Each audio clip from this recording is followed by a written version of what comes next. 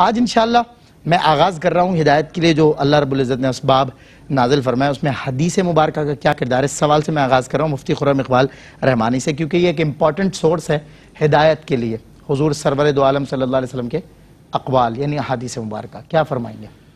بسم اللہ الرحمن الرحیم، والصلاة والسلام علی رسول الکریم، اما بعد۔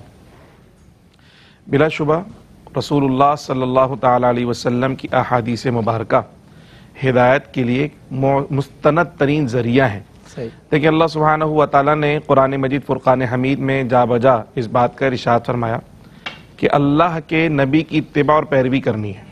اور اللہ کے نبی کی اتباع اور پیروی کے بغیر دین پر عمل ہو ہی نہیں سکتا اللہ کے حکم پر عمل ہو ہی نہیں سکتا ہے۔ صحیح۔ یہی وجہ ہے کہ جہاں پیارے آقا صلی اللہ تعالی علیہ وسلم کی بعثت مبارکہ کا اللہ نے ذکر فرمایا، تو یہ فرمایا کہ یتلو علیہم آیاتی و یزکیہم و یعلمہم الکتاب والحکمہ۔ ہم نے ایک ایسے عظیم الشان پیغمبر تمہارے درمیان مبعوث فرمائے جو صرف کتاب اللہ کی آیتوں کی تلاوت ہی نہیں فرماتے بلکہ اس میں جو حکمت کی باتیں ہیں جس میں جو تعلیم ہے جو احکامات ہیں باقاعدہ اس کی تعلیم دیا کرتے ہیں۔ صحیح۔ تو حضور جانے تو عالم صلی اللہ تعالی علیہ وسلم کی جو تعلیم ہے در حقیقت وہ حدیث رسول صلی اللہ تعالی علیہ وسلم ہے تعالی یعنی قرآن کے اجمال کی تفصیل اگر ہمیں کہیں ملے گی تو پیارے آقا صلی اللہ علیہ وسلم کے فرامین میں ملے گی۔ اور حدیث رسول صلی اللہ علیہ وسلم ایسا ایک بنیادی ماخذ ہے کہ ہم اللہ سبحانہ و تعالیٰ کی سنت دیکھیں جو اس نے اپنے بندوں کی ہدایت و رہنمائی کے لیے جاری فرمائی کہ ایک طرف تو اس نے انبیاء کو بھیجا اور دوسری طرف ان پہ کتابیں نازل فرمائی۔ لیکن اگر صرف کتابوں کا آنا ہی ہدایت کا بنیادی ذریعہ ہوتا تو آپ دیکھیں کتابوں کے حوالے سے یا صحیفوں کے حوالے سے جو روایتیں ملتی ہیں ایک روایت میں ایک سو چار صحائف تقریباً اللہ پاک نے نازل فرمایا کسی میں تقریباً تین سو کے قریب ہیں۔ لیکن جب پیغمبروں کی تعداد دیکھتے ہیں تو کم و بیش ایک لاکھ چوبیس ہزار پیغمبر آئے۔ بالکل صحیح۔ اس کا مطلب یہ ہے کہ کتابیں وہ اللہ سبحانہ و تعالیٰ کی مرضی اور منشا اس کی مشیت جب چاہے وہ نازل فرمائے۔ بالکل صحیح۔ لیکن ہدایت کا جو بنیادی ذریعہ اس نے رکھا نا وہ اپنے پیغمبروں کو رکھا۔ اور وہ پیغمبر ہی در حقیقت ان کتابوں کی تفسیر و تشریح کر کر اور عملی اس کی جد و جہد عملی جہد اس کی جو ہے لوگوں کو دکھایا کرتے اچھا صاحب ایک بات آتی ہے ذہن میں کہ یہ جتنے بھی اللہ رب کم و بیش ایک لاکھ چوبیس ہزار پیغمبر ہیں تو کوئی نہ کوئی ذریعہ وہی کا کوئی نہ کوئی شکل ان سب کے ساتھ ہی یہ سلسلہ رہا ہے۔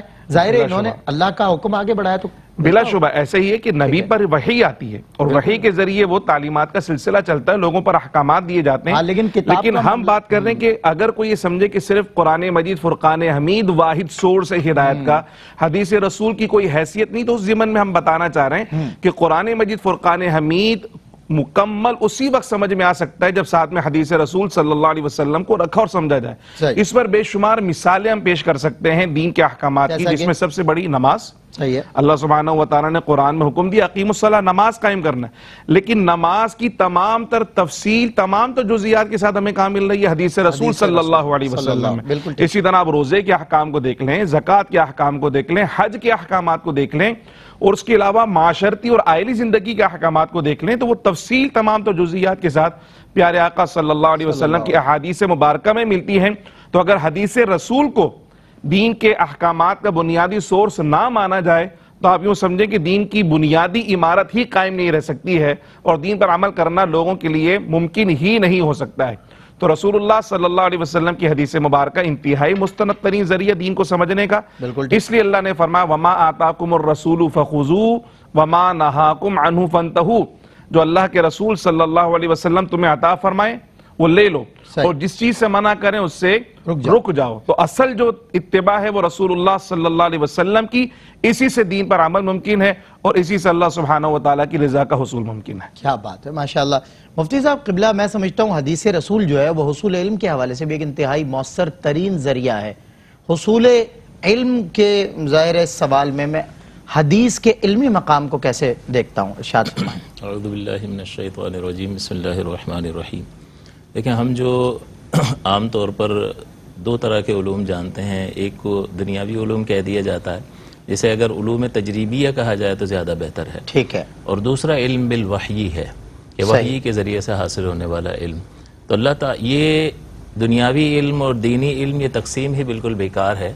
یہ دونوں علوم جو ہے اللہ تعالیٰ کی دو صفات سے نکلتے ہیں۔ صحیح۔ اللہ تعالیٰ نے ساری کائنات پیدا فرمائی تو اللہ تعالیٰ کے ارادے اس کے علم اور اس کی قدرت کا اظہار ہوا کہ کیسا زبردست علم ہے اور کیسی زبردست قدرت ہے اور اس کا ارادہ کیسا ہے کہ جو چاہتا ہے کر گزرتا ہے۔ کیا بات۔ اور اس تخلیق صفت تخلیق کے ذریعے سے جو چیزیں ہمارے سامنے آئیں اس کے آلات ہم کو دے دیے حواس اور عقل۔ تو جو کچھ بھی اللہ تبارک و تعالیٰ کی اس تخلیق کے نتیجے میں ظاہر ہو رہا ہے علم اس کے آلات دے دیے کہ حواس سے بھی ہم جان لیتے ہیں اور عقل سے بھی علم حاصل کر لیتے ہیں۔ اور حکم بھی خود فرمایا نا تسخیر کائنات جی بالکل۔ بات لیکن اور لیکن دوسری جانب جو ہے ایک علم وہ ہے چونکہ اللہ تعالیٰ رب العالمین ہے پالنے والا ہے اور پالنا اس کا مطلب اسی وقت ہو سکتا ہے کہ جب جسے پالا جا رہا ہے اس کی ضرورت کو پورا کیا جائے اور انسان فقط جسم نہیں ہے۔ روح اور جسم کا مجموعہ ہے لہٰذا جہاں اس کی جسمانی ضرورت کو پورا کر کے اس کی نشو و نما کی جائے گی تاکہ جسم جو ہے اس کی ضروریات پوری پوری ہوں اور وہ ہر طریقے سے کمال تک پہنچ جائے۔ اسی طرح سے روحانی ترقی کے لیے بھی اللہ تعالیٰ اپنی ربوبیت کا اظہار فرمائے گا اور وہ علم عطا فرمائے گا جو ہمیں صحیح انسانی زندگی گزارنے کے لیے ہم ہدایت کی راہ ہمارے لیے ہموار کرے۔ صحیح۔ تو دوسرا جو علم نکلتا ہے وہ اللہ تعالیٰ کی صفت کلام سے نکلتا ہے۔ صحیح۔ پہلا تخلیق سے نکلا اس کے اس کے آلات بھی ہمیں دے دیے اور دوسرا جو ہے صفت کلام سے کہ اللہ تعالیٰ جو کلام فرماتا ہے اس میں علوم کے خزانے بیان فرما دیتا ہے۔ صحیح۔ اور اس کلام کے حصول کا ہمارے پاس کوئی آلہ اور ذریعہ نہیں ہے۔ صحیح. اس کلام کو وحی کہتے ہیں اور وہ اترتی ہی نبی پر ہے.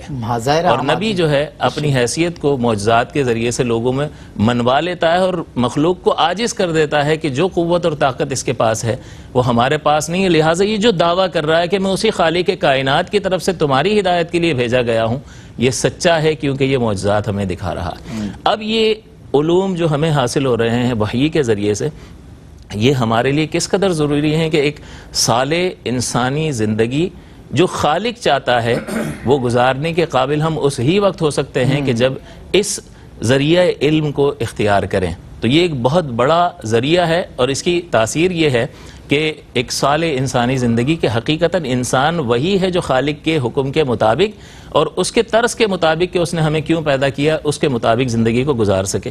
دوسری بات آپ نے فرمایا کہ اس کا علمی مقام کیا ہے، تو اس کا علمی مقام یہ ہے کہ آخری وحی جو رحمت عالم صلی اللہ علیہ وسلم پر جو نبی آخر الزماں ہیں، ان پر اتری ہے۔ وہ آپ کے بعد سے لے کر قیامت کے قائم ہونے تک، چونکہ اب کوئی وحی نہیں آئے گی کوئی نبی نہیں ہے لہٰذا تمام تر ضروریات کو یہی وحی پوری کر رہی ہے۔ واہ۔ تو یہ اس کا علمی مقام اور دوسرا رحمت دو عالم صلی اللہ علیہ وسلم فرماتے ہیں کہ مجھے جوامع الکلم بنا کر کے بھیجا گیا ہے۔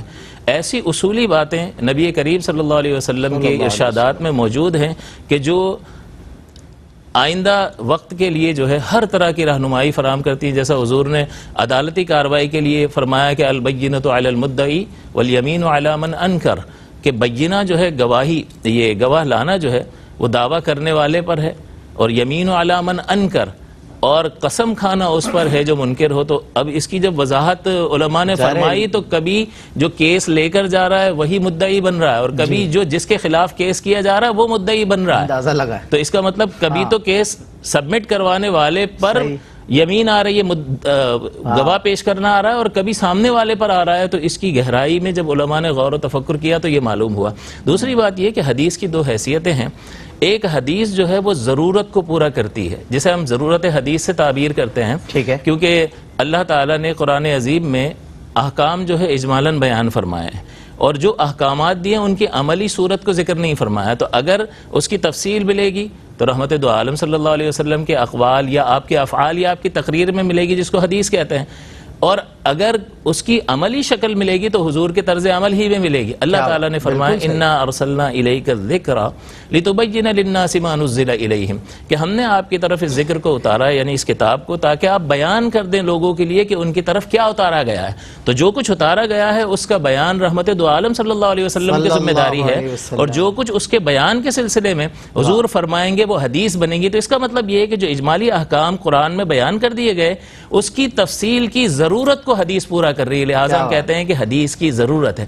دوسرا جو ہے حدیث کی حجیت پر کلام ہوتا ہے کہ حدیث جو ہے اوریجنلی اٹ سیلف کوئی حکم لا سکتی ہے مصدر شریعت ہے یا نہیں ہے تو بہت سارے احکامات ایسے ہیں کہ جن کا جو اوریجنیٹ ہی حدیث سے ہوئے ہیں یعنی سابق میں قرآن میں کوئی حکم موجود نہیں ہے بلکہ حدیث سے ہی اور اس کی دلیل یہ ہے کہ اللہ نے فرماتی الرسول۔ ہم، صحیح ہے۔ آتاکم الرسول فخذو فتبعونی اسوت حسنہ، یہ ساری دلیلیں ہیں کہ حضور کے زبان اقدس سے اگر کوئی حکم نکل جائے تو پہلے اگر قرآن میں وہ حکم موجود بھی نہ ہو تو یہ بھی مصدر شریعت یعنی حدیث پاک حجت ہے کسی بھی حکم کو اوریجنیٹ کرنے کے لیے ابتدا کرنے کے لیے۔ اور حضور علیہ السلام نے بہت سارے حشرات الارض اور بہت سارے جانوروں کی حرمت کو بیان کیا جو قرآن میں مذکور نہیں ہے۔